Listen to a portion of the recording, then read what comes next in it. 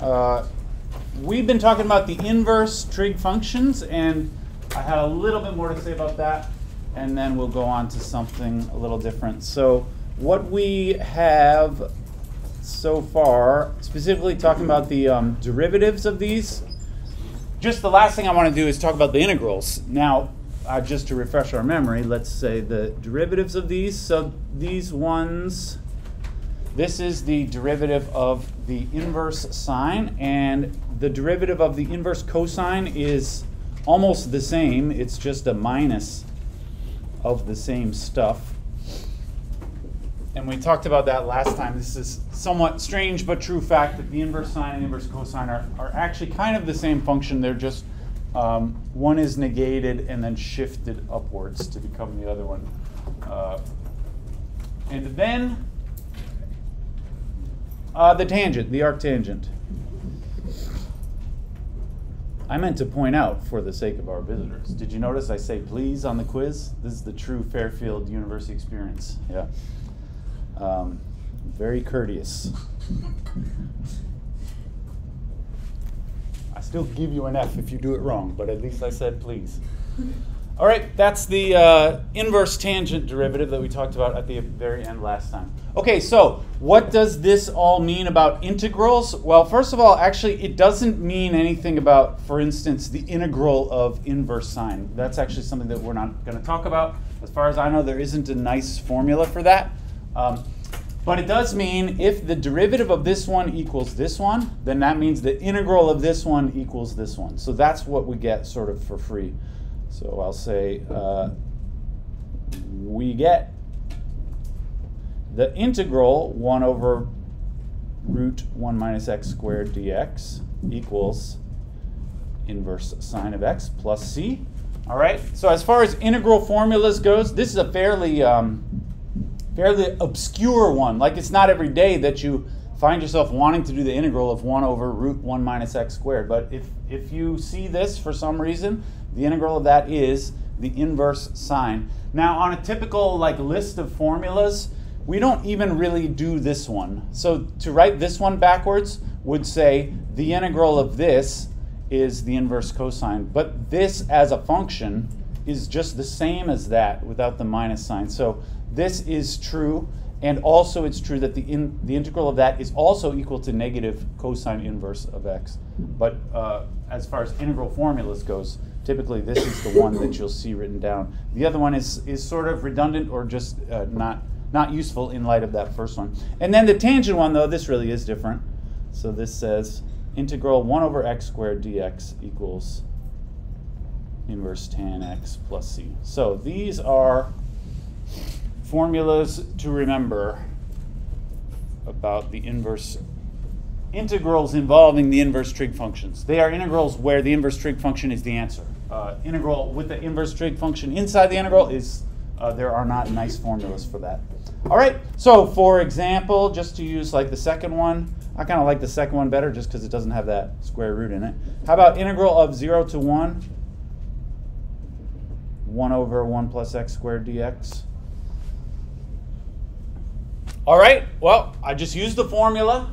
The antiderivative of that stuff is uh, arctangent, or inverse tan of x. and I have to plug in 1 and 0. Not much to it for just to do that integral. Uh, to plug in 1, I go tan inverse of 1 minus tan inverse of 0. And then what are those? Uh, this, I suppose you could do on your calculator, but these ones actually you can do uh, kind of by hand. Remember what tan, inverse tan of 1 means? It means is the, uh, the theta with tan theta equals 1, right? And any, any tan experts out there? Is it pi over 4? I believe it is pi over 4. Yeah. If I were trying to figure this out, tan theta equals 1. To, to me, I, I like to draw myself a little triangle. And if the tan is 1, that's the opposite over the adjacent. That would be like a 1 and a 1 here. That's a triangle which, which has tangent equal 1. And now I can recognize that that's a 45 degree triangle. So the angle is pi over 4, right? Or 45 degrees if you prefer. But you know me. I'm not into rate uh, degrees. I'm a radians man myself. All right, and then uh, the other one, arc uh, inverse tangent of zero. What's the angle whose tangent is zero? Anybody? Yeah. Isn't it just zero? It is zero. Yeah, the tan of zero is zero. So the inverse tan of zero is zero. Yeah, great. So the answer is pi over four. All right. Excellent. Anybody out there still on the fence about degrees and radians? I don't know. Some there may be some radians haters out there, uh, but I would suggest that this example actually is a decent uh, reason why to be a radians lover, not a radians hater. Um, why am I a radians lover? I don't know if you've ever thought about this for yourself, but one of the reasons is this this is the answer. Like the air, this uh, left hand side represents the area under the curve, right? The area under the curve of 1 over 1 plus x squared from 0 to 1. You could draw a graph of that and actually like show show me on your piece of paper what that area is. It is pi over 4. This this is a number less than 1, right? Now if you if you're a radians hater and you said the answer is 45, that's a that's a very different answer, right? I mean, this area, whatever it is, pi over 4 is not the same as 45. If you think, if you really think the area is 45, like square inches or whatever, it, that's just straight up wrong. Um, why is it wrong? It's because actually these formulas only work if you're using radians. If you're using degrees, the then you have to do something like multiply by 180 over pi or something like that to uh, to convert it. So um, a lot of the formulas that you already know and love from calculus really only they are only true if you're using radians. Like for example, this formula, which everybody loves, the derivative of sine is cosine. This is only true with radians. It's it's not true with degrees. You, there are ways to compensate for that with degrees, but um, the formula is not true because this represents the slope of something. And there's a big difference between the slope of something um, in degrees or radians. anyway, let's uh, let's continue then. I hope we're all radians lovers here. You don't have to love it, but degrees just straight up give you wrong answers if you use the the formulas that are written in typical boxes. All right, uh, in the um, I, I have just a couple more examples using these two formulas in the boxes here. Of course, usually we're not going to just plug into the formula and leave it at that. Usually you have to do some, some amount of work to sort of make the formula apply. What about if it were like this? Did I put the, I put the squared in there before, right? Yeah. All right, so this is what I want to do. This almost looks like the formula. I will just refresh our memory. The formula is the same but without the 4. So the big question is, how are we going to make this uh, fit the format appropriate to use the formula, right? Really, we need to somehow deal with this 4 here. Anybody have a suggestion? Yeah?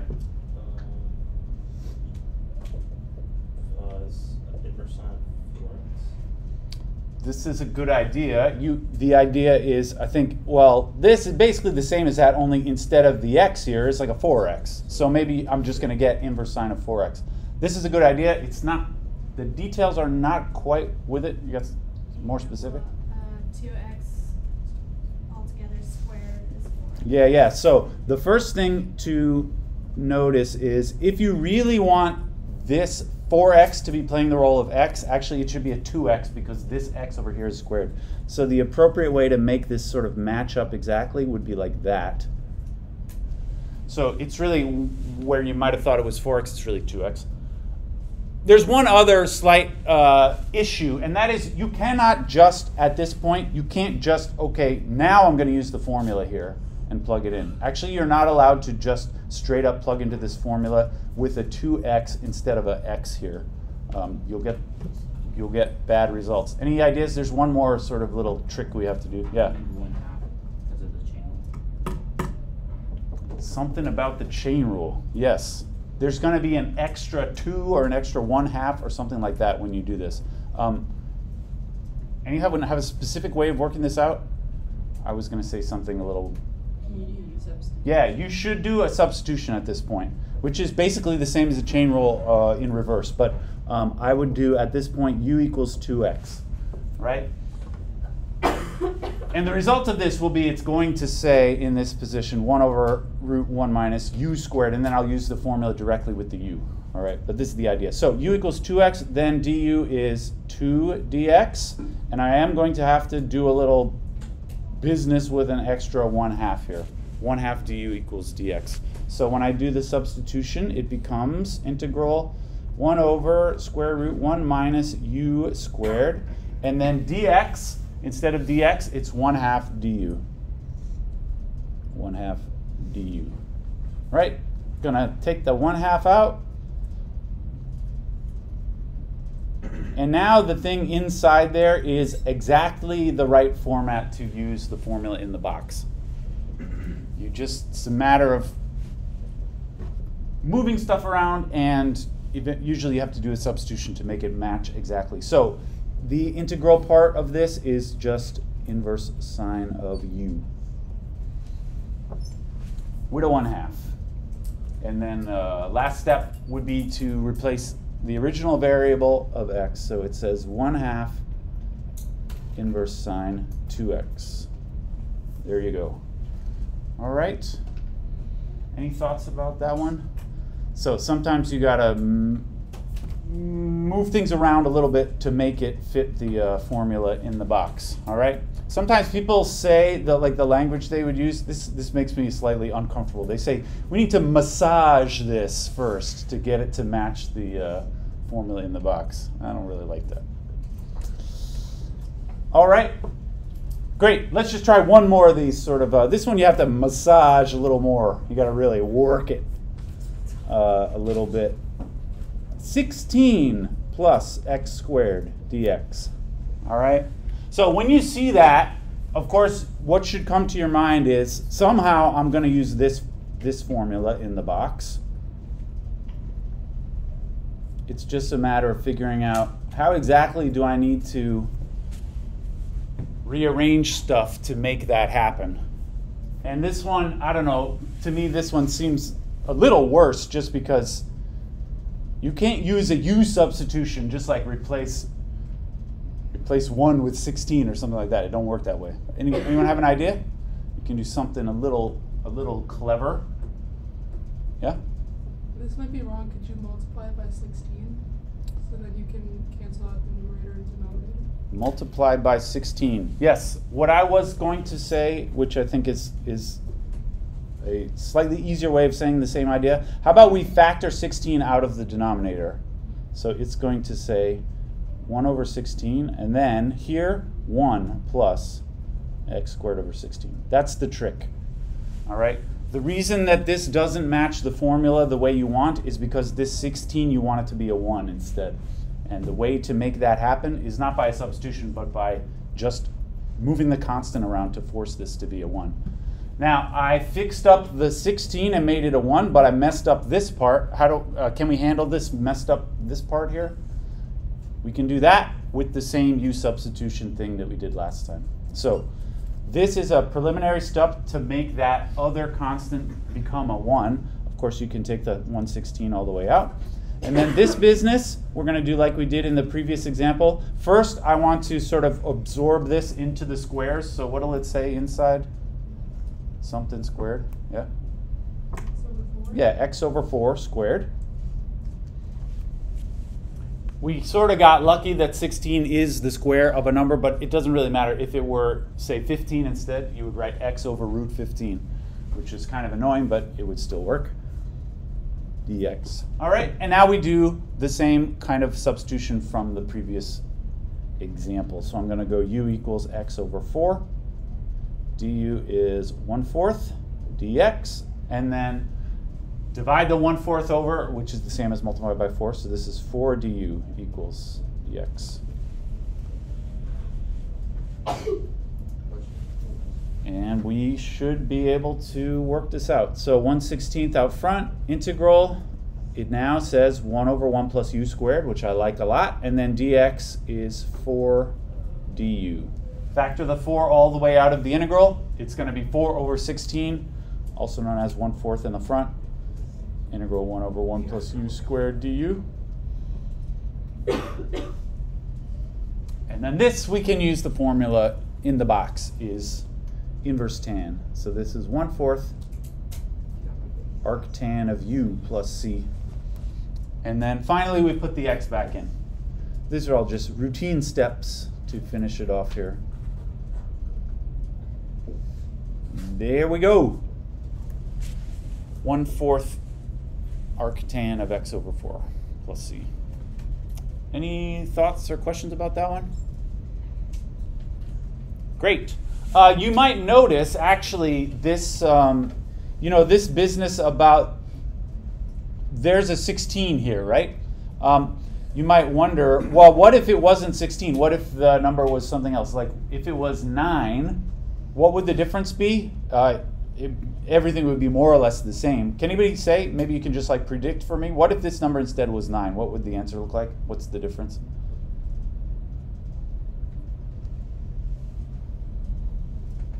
Yeah? All the fours would be threes. Yeah, all the fours would be threes. Basically, whatever that number is, well, I, can I just say, generally speaking, and it's it's not hard to actually work through all the stuff, leaving the original thing as a constant. If you gen- in general have it like this,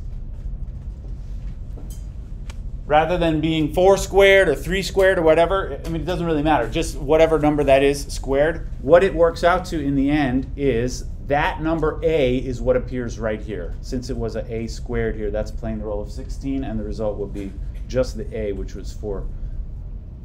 1 over a arc tan x over a plus c. Sometimes you will see formulas like this written in, uh, in textbooks. I'm not, I will not expect you to remember that version. This is a more fancy version of the one that with, with a equals 1.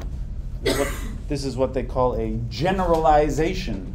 When a is 1, you get that other formula, but this one allows you to do more stuff with it. And then I will just say, similarly, for inverse sine of x. There is a similar fancy version of the inverse sine uh, one, which I'm going to let you all check out on the homework. Uh, it's not so hard to work out the details on your own. All right. And this, I believe, is the uh, all I wanted to say left over about in inverse trig functions. Anybody have any thoughts or questions about that? The inverse trig functions in radians. All right, great. Uh, let's go on to the next section then. That was the end, I think, of chapter six in the book. I'm thinking.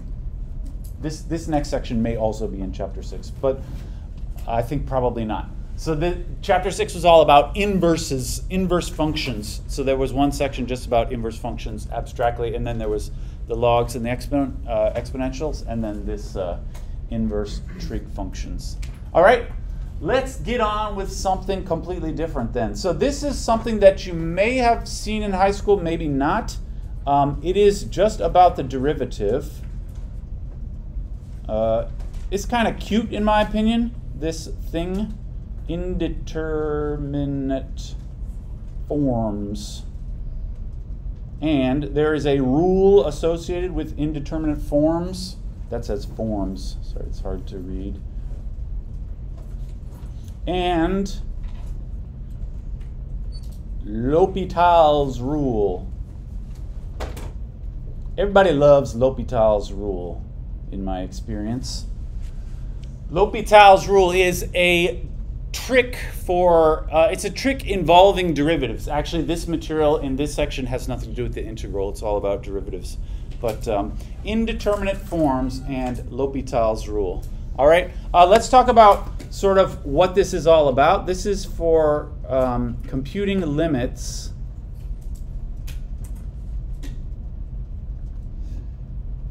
Where plugging the values in, plugging in results in 0 over 0, right? Uh, we haven't done much of this just because we, we haven't really talked much about limits by themselves in this class. But as you know, if I ask you to find the limit of a function, of the limit as x approaches 3 or whatever, the standard approach is just you try to plug 3 into the function and see what you get. And if you get a, a legitimate answer, then that is the answer of the limit. Uh, weird things, though, can happen when you uh, pl- try to plug your numbers in and you get 0 over 0. I hope that you remember from your uh, first, uh, you know, your single, whatever, Calc 1, um, that uh, when you get 0 over 0, this actually doesn't tell us anything about the limit. This doesn't say anything about the limit. In particular, 0 over 0 does not mean that the limit equals 0. Um, you might be tempted to cancel the zeros in the fraction and say, isn't that 1? The answer is no. Uh, it does not mean that the answer is 1. It doesn't mean that the limit does not exist. This doesn't say anything about the limit. It could be anything.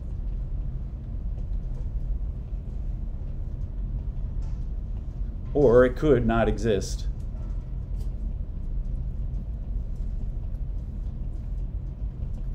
There's an old movie called uh, Mean Girls in which the limit does not exist was a big sort of like emotional punchline at the end of the film. Yeah, and actually, the if you look at the the, the problem she was working on, um, that is a problem where you use the L'Hopital's rule. So she didn't say it. She didn't say, "Oh, I'm just I'm going to use the L'Hopital's rule here." The limit does not exist. That would have ruined the moment. But that's what she was doing in her head. And the L'Hopital's rule is a really sort of cute trick that um, that you can kind of do in your head in some situations.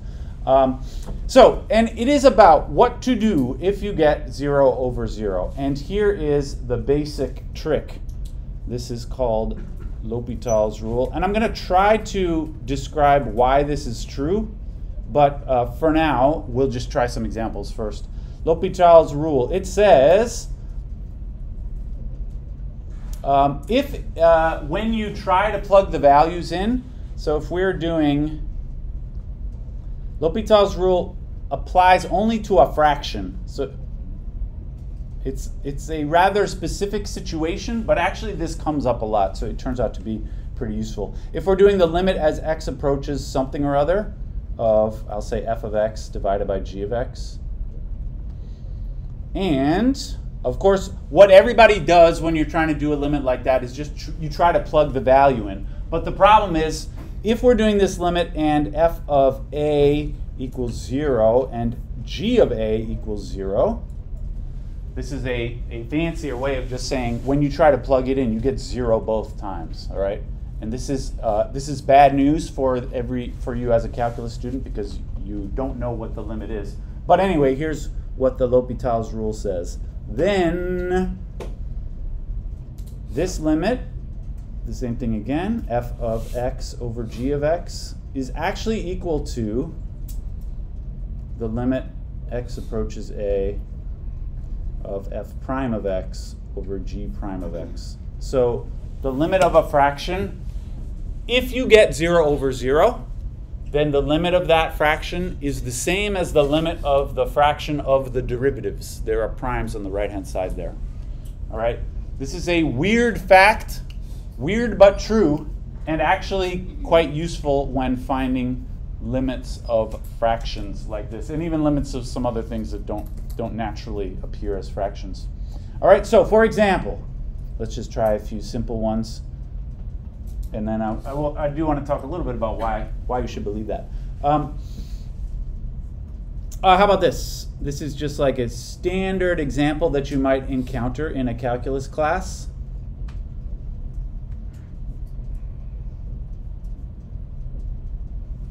All right. So if you were doing this limit in, a, in your first, uh, you know, baby's first calculus class, you would begin by trying to plug the value in. So I would try to plug in. Now it's not going to work, but um, just let's just pretend we don't know where this is all going. I would get 1 squared plus 2 times 1 minus 3 divided by 1 squared minus 3 times 1 plus 2. This is 1 plus 2 minus 3 over 1 minus 3 plus 2. That's 0 over 0, all right, which is bad news What would you do in this case if you if you don't? So one thing you can do is L'Hopital's rule. But what if you if you don't know the L'Hopital's rule? Anybody remember how you would figure this limit out? Yeah. We try to like factor it. Yeah, I would say go back to the beginning and factor. And this in this case, it's not so hard. This one factors as x plus one, x. Sorry, x plus three, x minus one. Right, and the bottom factors as x minus one, x minus two. And then you can cancel these guys.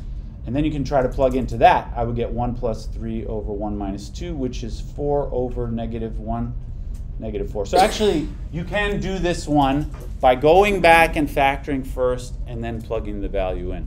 But what if I told you there was an easier way? There is an easier way.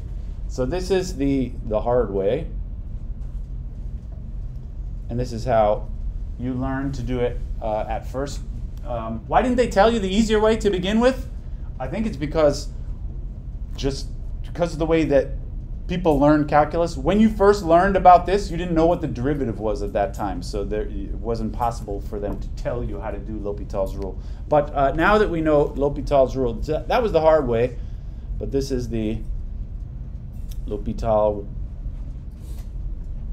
It would say, taking this limit, x squared plus 2x minus 3 over x squared minus 3x plus 2 is the same as the same limit of the derivatives. So this is equal to lim x goes to 1 of the derivatives. I take the derivative on the top. I also take the derivative on the bottom. Right? Any quotient rule lovers out there take offense at this? This is a little weird to take the derivative on the top of the fraction and also just take the derivative on the bottom. Of course, the derivative of this fraction as a whole, you would have to use the quotient rule, but this is a special weird thing about L'Hopital's rule. It involves taking the derivative on the top and also on the bottom. But anyway, this is a true fact using the uh, L'Hopital's rule, and then we can just do this uh, by plugging in again. So this now would be 2 times 1 plus 2 over 2 times 1 minus 3, which is 4 over negative 1, negative 4. All right? So we got the right answer by doing this weird thing where you take the derivative on the top and on the bottom.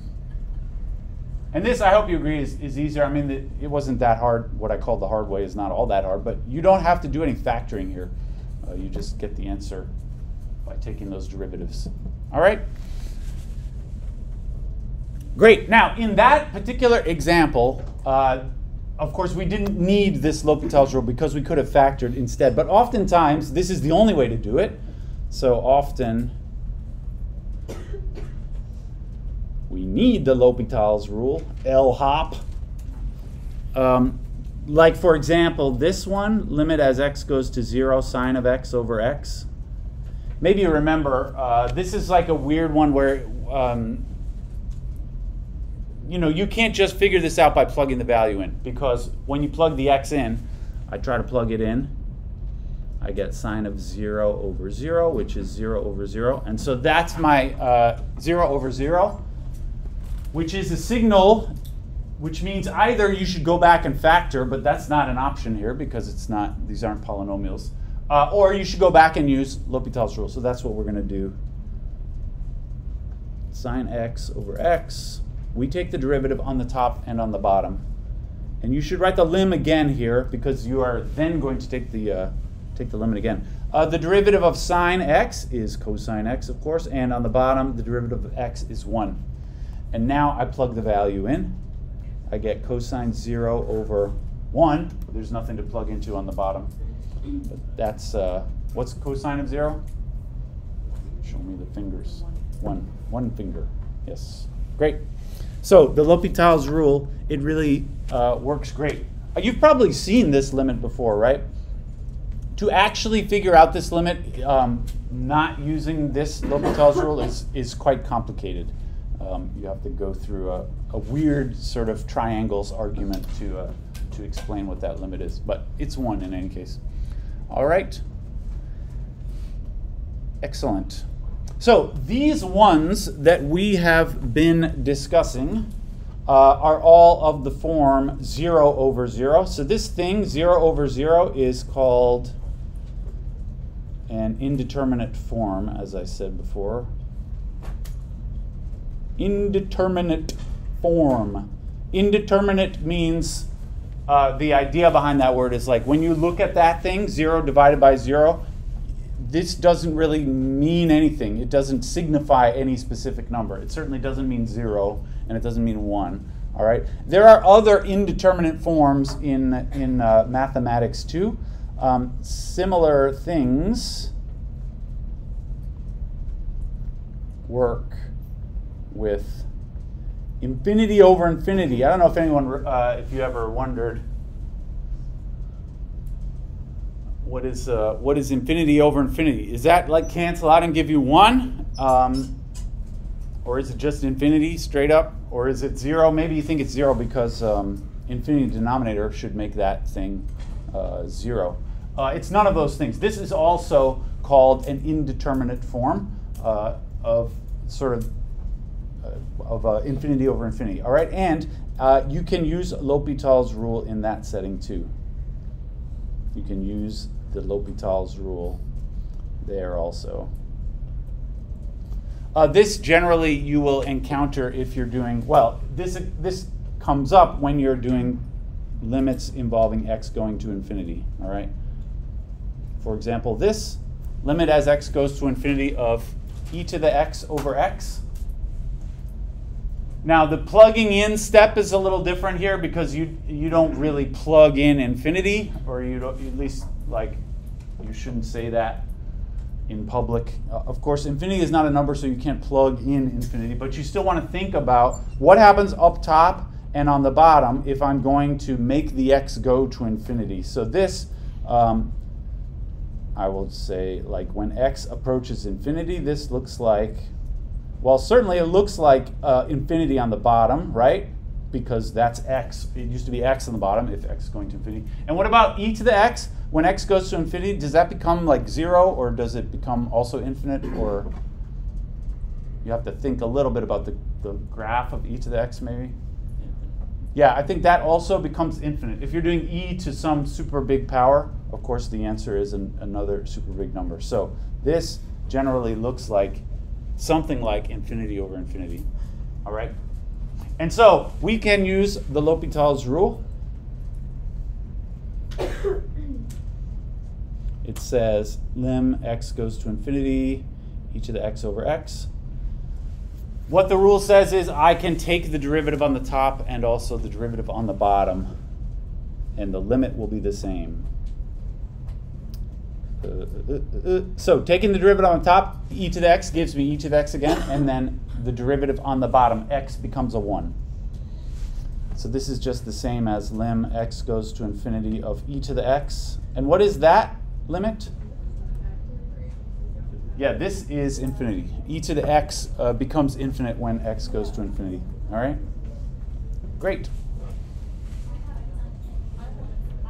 I don't know if this is an unsatisfying answer to get infinity as the answer, but it's certainly better than infinity over infinity, which doesn't even mean anything. This, this at least uh, has some, that, that is the answer. You can't do any better than that. All right? Excellent. Uh, so maybe I'm going to write like the, the official sort of formal statement of the L'Hopital's rule, and then I want to try to talk briefly about why you should think this is true. In my opinion, it's just kind of a weird, uh, a weird fact. There's not, to me, there's not like an obvious reason why you should feel like that's true. But anyway, I'm going to write this like a theorem and we're not going to do we're not going to really do the proof but i want to try and give you some idea so the theorem says if we have a function on the top and a function on the bottom now those functions they need to be differentiable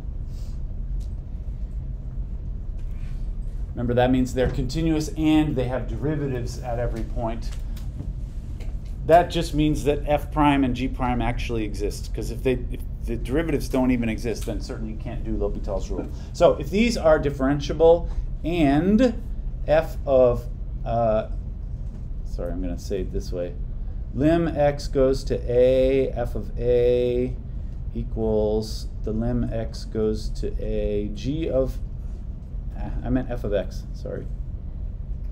g of x equals 0. So that means if you are trying to do the limit on the top and the bottom, you get 0 both times. This is the setup for the L'Hopital's rule. Or L'Hopital's rule can also be used when it's infinity over infinity. So it's uh, if those limits are both 0 or those limits are both infinite. So I'm going to say or if the limit as x goes to a f of x equals either plus or minus infinity, it doesn't matter. And the other one also is infinite. g of x is also plus or minus infinity. Then the conclusion, so if all of that business says if you begin by getting 0 over 0 or infinity over infinity or minus infinity over infinity, whatever, then the conclusion is lim x goes to a, f of x over g of x equals lim x goes to a, f prime of x over g prime of x. This is sort of the formula version of the L'Hopital's rule. All right, the limit of a fraction is the same as the limit of its derivatives. This only works if you get the 0 over 0 or the infinity over infinity. All right. Uh, I want to try and give some vague idea why you should believe that, and then we're just going to do a bunch more examples, and that should do us for today. So here's a vague proof. Um, and I would like to think about, so we're going to start with uh, actually, in as as maybe you've seen before, sometimes when you're trying to argue why this is true, you know, traditionally I would just start with the thing on the left and somehow explain why it's the same as the thing on the right. Actually, it's a little easier to start with the more complicated one in this case. So if I start with this, lim x goes to a, f prime of x over g prime of x. And just this once, I'm going to um, replace, instead of f prime, I'm going to write this in terms of the definition of the derivative. Now, um, hopefully you, you at least remember a little bit about the definition of the derivative. Usually is written as something like f, f prime of x I would write as lim h goes to 0, x plus a, f of x plus h minus f of x over h. But there's another way to write it, um, maybe, and I hope that you've seen this before. Instead of f prime of um, yeah, instead of that, that, that one with the h, there's also one where you have sort of uh, two values of x which are coming closer together. This is also, this is like the other version of the definition of the derivative. I hope that's a little familiar to folks. We're, we're basically never going to talk about this again, so it's, it's all right if, uh, if you don't remember that. But um, this is using sorry, I need g's down here, using the definition of the derivative, but the, the other version of the definition of the derivative. Uh, it's the same idea though. Instead of x plus h uh, becoming the same as x when the h goes to zero, here we have just x and a becoming the same when you do the limit x goes to a. But anyway, can we simplify here at all? yeah?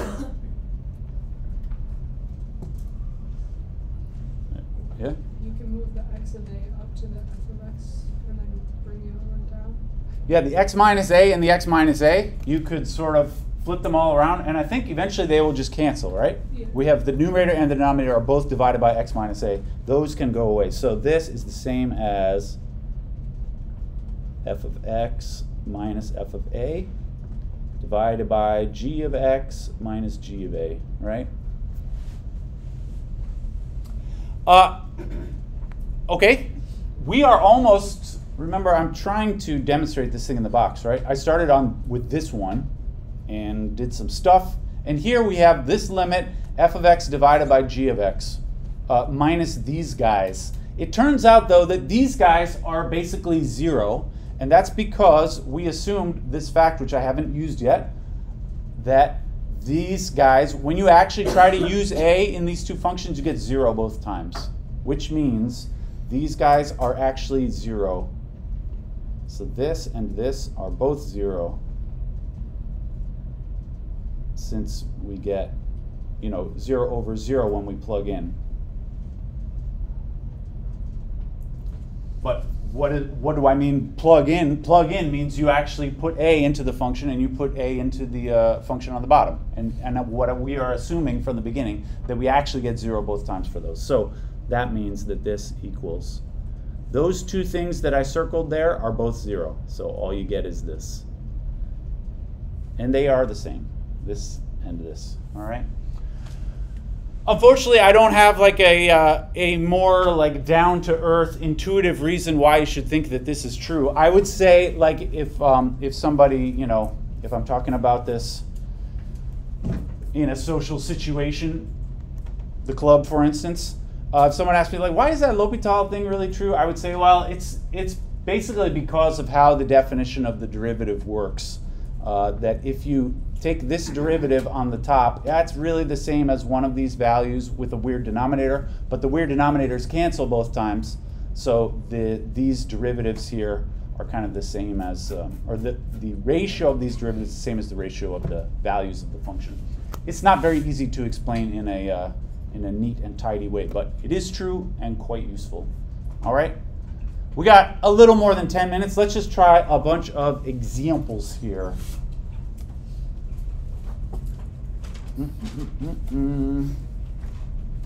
How about uh, how about can we uh, can I give you guys some to do? I think we have enough time. I have four examples here which I would like for us to try. One of them is kind of a trick question, but I'll leave that for you to discover. Limit as x goes to 1, ln x over x minus 1. Limit as x goes to 0, cosine x minus 1 over x. I got four of them, like I said. Lim x goes to 2, x squared minus 3x plus 2 over x squared plus 2x plus 1. And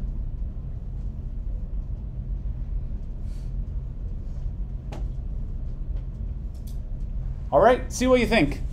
Feel free to chat with your friends about it as always.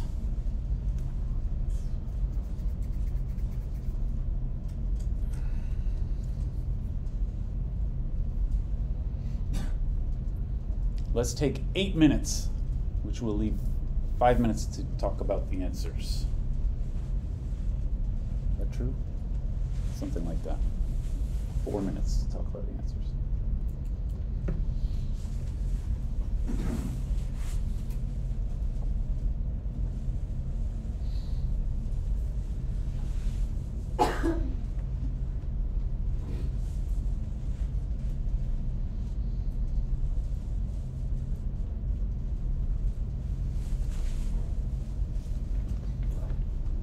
Did say one of them is a trick question. I'll let you determine which one. Kind of a trick.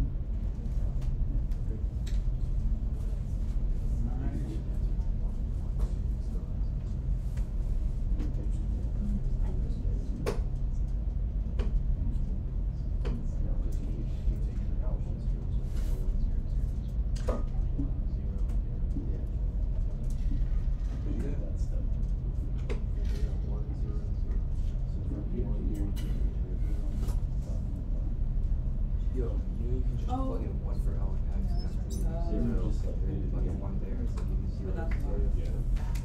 Yeah, I'm pretty sure that's how you have to do it. Uh, I thought you were just plugging in. Yeah, but these zero, zero.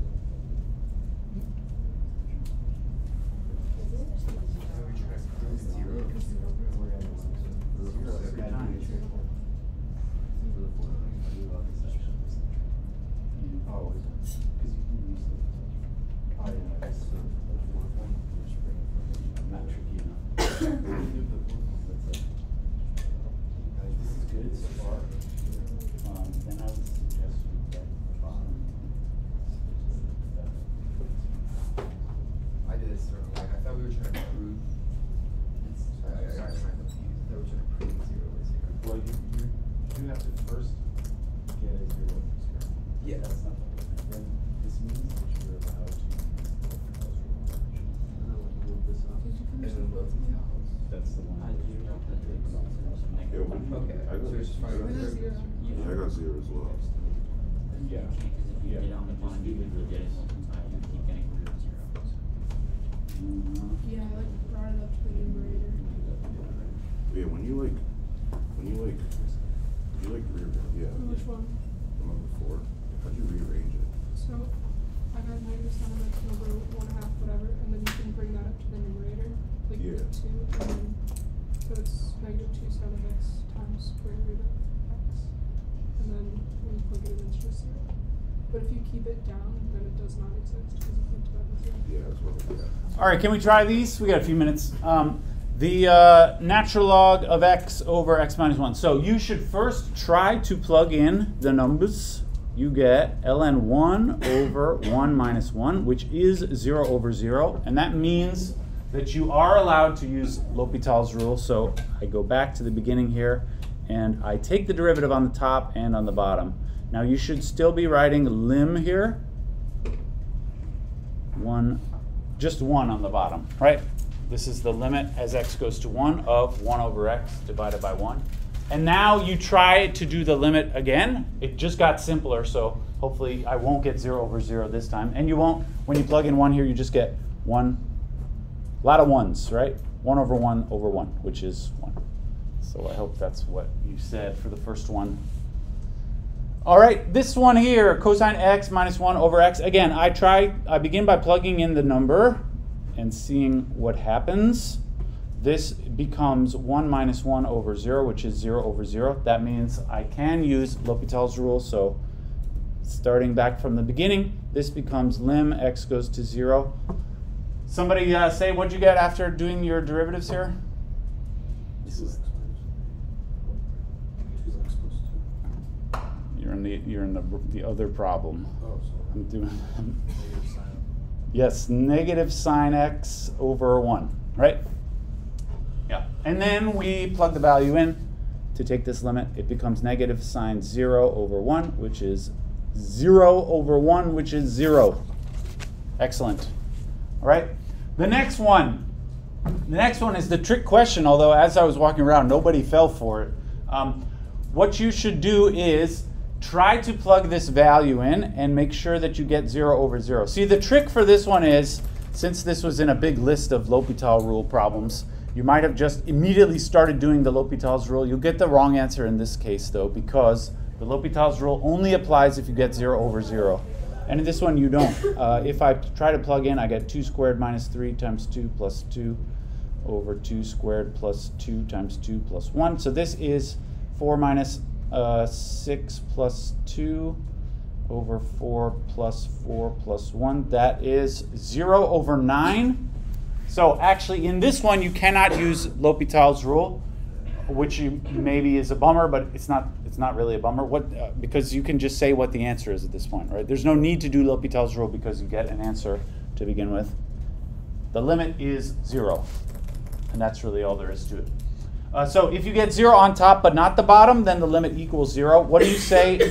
what if you say if you get zero on the bottom but not the top?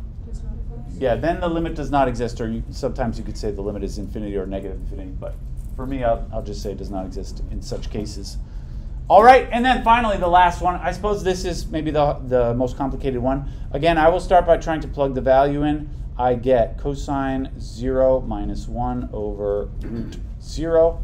That is 1 minus 1 over 0, which is 0 over 0. So we should use L'Hopital's rule. What we get derivative of cosine is negative sine. The minus 1 goes away. And on the bottom, root x becomes 1 half x to the minus 1 half. And now it's a good idea to try to simplify here before, you know, eventually I'm going to plug 0 in. But uh, negative power in the denominator actually translates to just x uh, to that, that same power, but, but positive. So this is the same as minus sine x times 1 half x to the 1 half, right? A negative exponent, which is already in the denominator, is the same as a positive exponent. And now, can you do this limit? It's not a fraction anymore, but each part of this you can plug 0 into. This part becomes negative sine of 0, and then this part becomes negative, not plus, times uh, 1 half times 0 to the 1 half. All of that is 0. All right. There you go. I think that'll do it. I hope you all had a good weekend. Have a good weekend.